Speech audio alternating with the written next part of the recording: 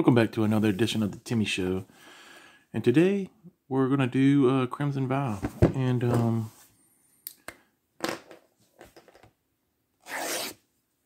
this is gonna be uh, my pre-release kit that I will make a deck out of to play in the pre-release. Inspired idea. Um, cleave Draw three cards. Your maximum hand size is reduced by three for the rest of the game. Wow. I don't know if that's, uh... Get my packs out. Get a little dicey dice. I don't know if you draw three cards. Um, what's the cleave cost? So for four more, remove. Okay, so you can remove it and just draw three cards by paying seven? That's steep, man. That is real steep. Let's see what we have. Red, blue, white, black, green, black. Kind of go through this quickly. That's a werewolf. That is a double spell. Tree folk do like that. So let's let's do it like that. Red, white, and look at that. What is this? Stromkirk. Legendary creature flying enters the battlefield. Interesting. That's pretty cool. So we'll put that in the pile. Well, we normally keep our rares and stuff separate. And we got one of the special lands and two tokens. All right, let's move on to pack number two. so we got an alt art card. And our giveaway is is live now, so you guys can. That's pretty cool. The Fang cards.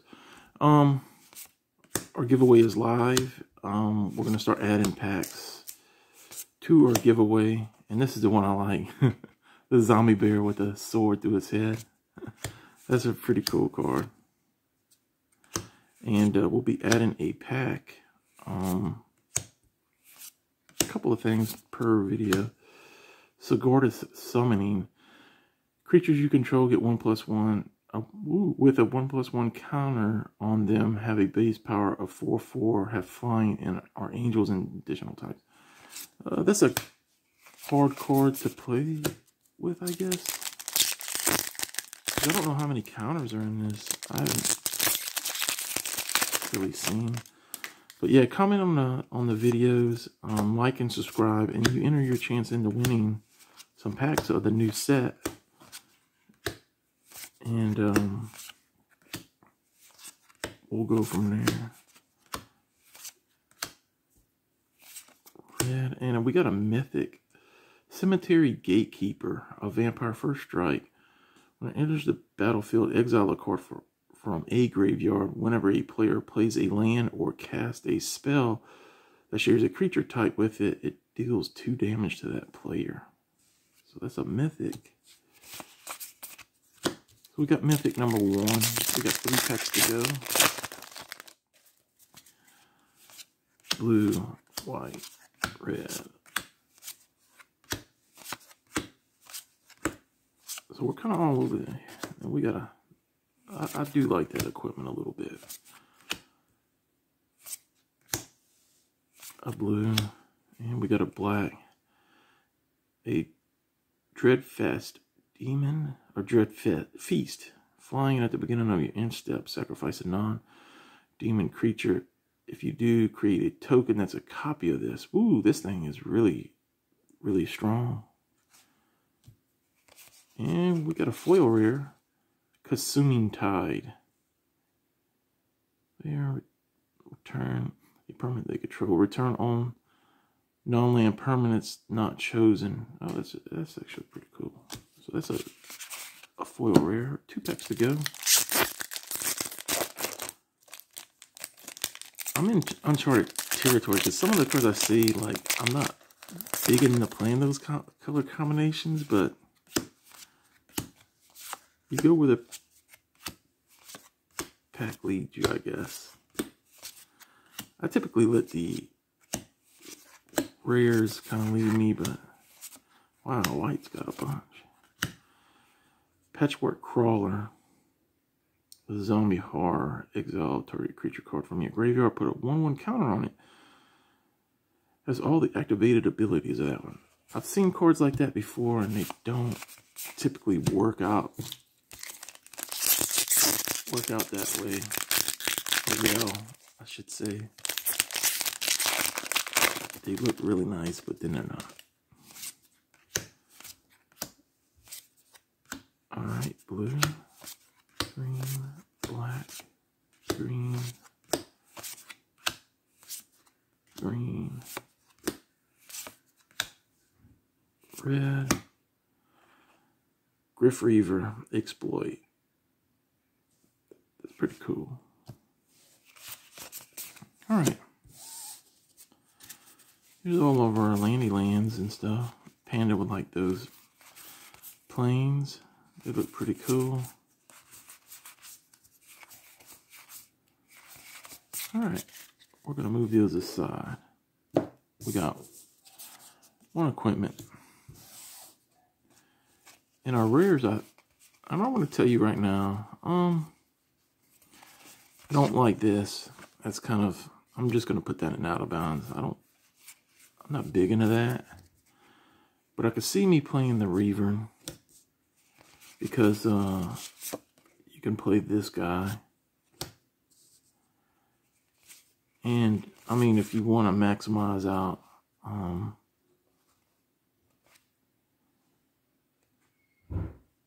you could probably play um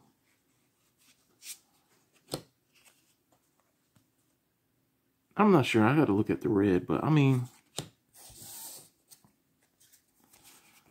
you could almost play blue black red if you want to maximize all your all your playables, but just on a nutshell like and even your your promo, you can play you can play six of your rares in this color combination. And uh, I'm not opposed to doing that. Um, I'm not a really blue-black player, but these things seem really strong. So I think I want to try that color combination. Um,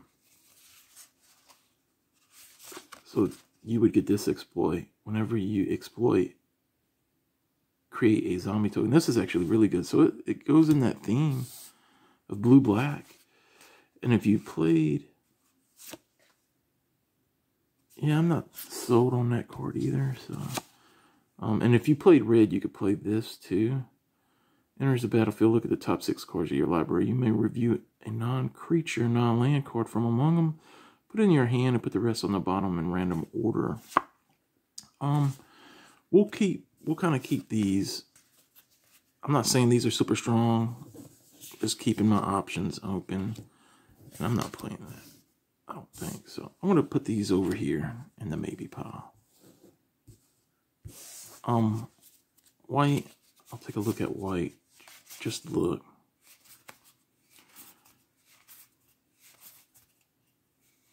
but I did not see. I guess the training is where you would get your, your counters for the Sigarda. Um, Piercing Light is a really good card. Deals 2 damage to target attacking or blocking creature that could come in handy. Artifact and enchantment removal. Um, I don't think white is particularly strong, so I'm just going to put that out of bounds. So we're going to get rid of that. Um, red I'm actually curious about because red had, we do have a quite a big pool. Um,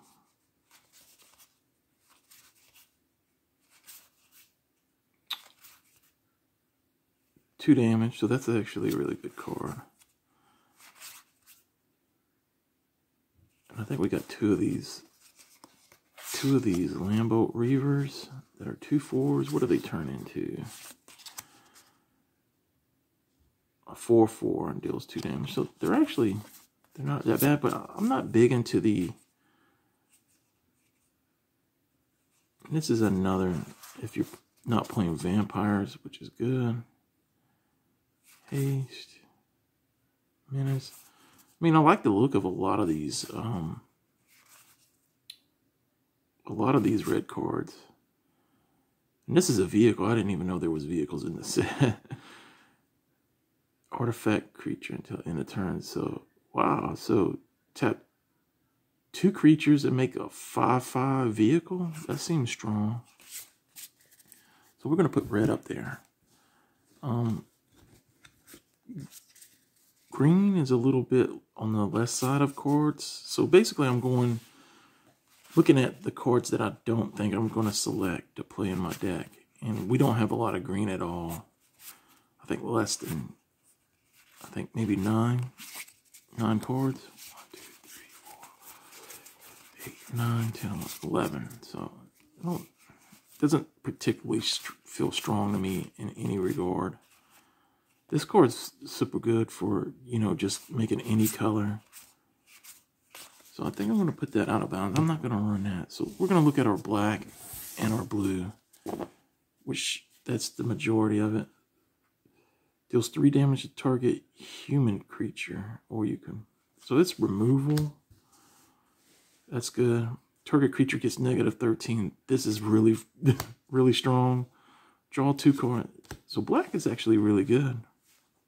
Return target persist specimen from your graveyard. So it, it's a recursion effect. Um, enters the battlefield, make a blood token. Okay.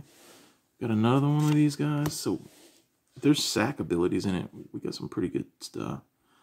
Discord a wait, at the beginning of your end step, if you discarded a core, transform this dude.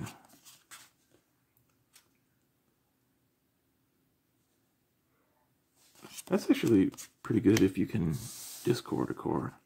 Exile, target zombie. Target, okay. Flying, it's a vampire, otherwise it gets nicked. So that's removal. Okay, so let's get, I want to put our removal up here because we got we got two of these grasps. We got a fang and we got a um that. So we got some removal. Zombie exiling, so that's good. We got another draw card. Make a blood token. We got another and we got another one of these things. So we got plenty of removal and black. Okay, so discard, so right off the bat,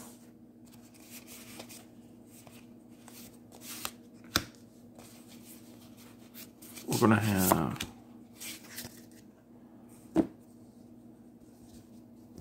kind of an outlet so we can discard a card and draw a card, and we can discard the specimens. We could get them back. So that guy's super strong. I like that. We have flying. And this has a lot of draw. Return target creature. What's this do? Scry to whenever... Wait, whenever you sacrifice who may return it to the battlefield transformed. Becomes a 4-4. Sacrifice two islands and can't be blocked this turn. Um, I don't know if we have any sack effects. I didn't see any. So yes. Yes. Exploit.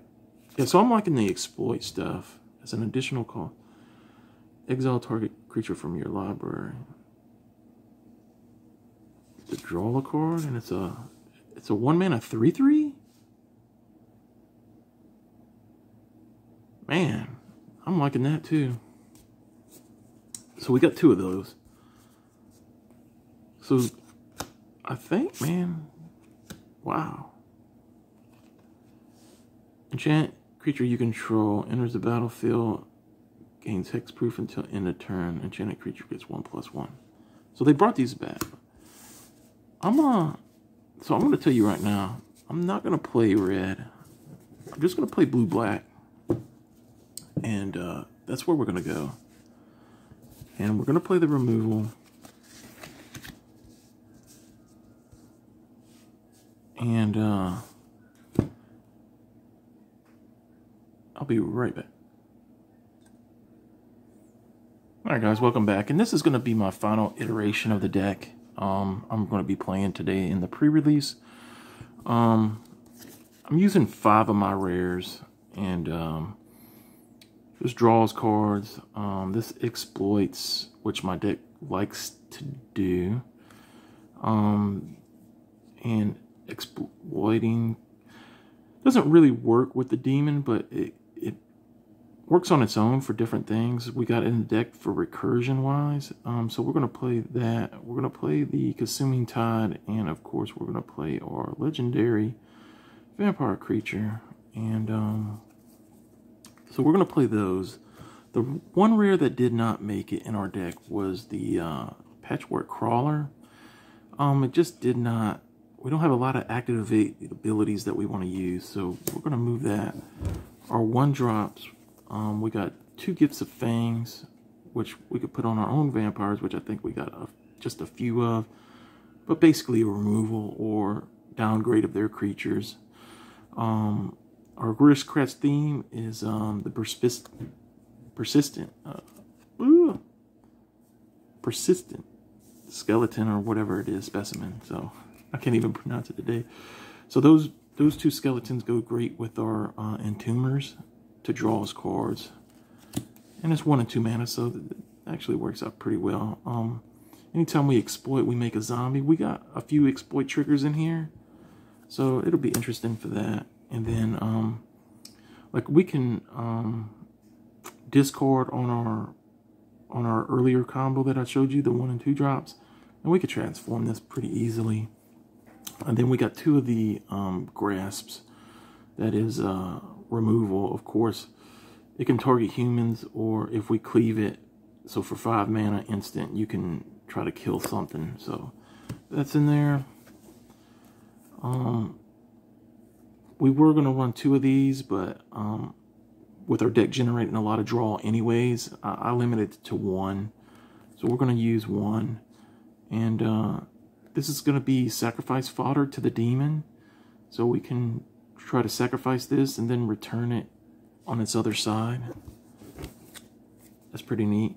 Um, we got a, a, few more exploit triggers. Um, a flyer to get in there. a couple of death touch bears to exile some of their stuff. And a another removal spell for um, for our deck. And we're going to round it off with two um, uh, cards. This is more of a game ender um, than um, this guy is, but it's this has got the exploit trigger, and we can do some shenanigans. So that's going to be our 24, and I'll show you what we kind of did not put in. And I could be wrong, and you can guys leave a comment in there, but I did not think this worked in our deck. Um, point of discussion. We, we got enough draw on our deck that I don't think a second copy of this makes it. I had a real big time on these because these are actually um, flyers. And you can get um, more draw, but it causes you to exile creatures from your, your own graveyard. Which I don't know in this particular case I want to do any of that. So you're paying 5 mana exiling two of your creatures that you might be able to recur to draw a card. I just didn't, I didn't find that was good. And this card, really wanted to play it. Um, but once again, kind of in the, the same light as this card, you're exiling a card um, to play this. And I don't know if I want, it's a one drop, so you're not going to play this on turn one anyways, unless you got like a uh, Evolving Wild or something that we don't have. Um, and it's a creature card anyways, so I don't think I want to exile one of my things that want to come back. So I'm just, no. Um, of course, I don't like chords like this. So giving something 5-5 and whatever. And same with this. I don't like enchantments. Um, this card was intriguing because I, I do like the, the blood mechanic, but being a 1-4 for 3, I didn't like that at all. Um, Exile a zombie. That's if you're playing against zombies. So this is situational sideboard at most. So no to that. And this is actually, um, I don't know. This this should probably be in a deck. Um, but I want to try the other things. And um, counter creature spell. This is another card. Um, I, I probably will sideboard in. Um, this might be needed to be in the main deck, but I just want to run it the way it is. Removal in that, so um, those are cards. All these are sideboard cards anyways, but this is a uh, this is going to be our deck. So um, we're going to go like this, and hopefully we can do good things. If not, we're on to the next uh, next pre-release. So this is it, and all right, guys take care and uh, as always um uh hit like and subscribe and we're gonna go ahead and um we're gonna go ahead and add two packs to the giveaway. So this is gonna be this is gonna go in the prize pool. So two packs in and um all right guys. That's gonna be it for now. Ta-ta.